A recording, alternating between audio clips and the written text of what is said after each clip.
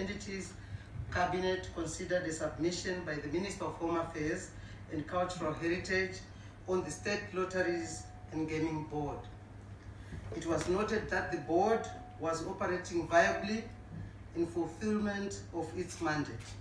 Cabinet therefore resolved to retain the State Lotteries and Gaming Board as it is.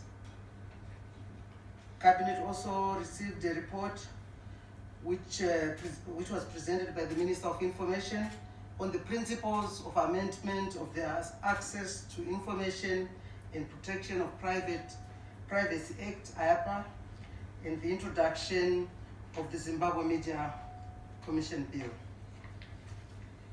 Cabinet considered principles for the repeal of the Access to Information and Protection of Privacy Act, commonly known as AIPPA.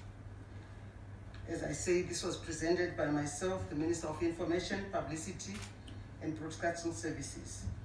The principle give rise to the introduction of three separate bills, namely the Access to Information Bill, that's one, two, the Zimbabwe Media Commission Bill, and three, the Protection of Personal Information Data Protection Bill. However, at today's meeting, only the principles for the bill to introduce the Zimbabwe Media Commission were considered. Cabinet noted that the proposed amendment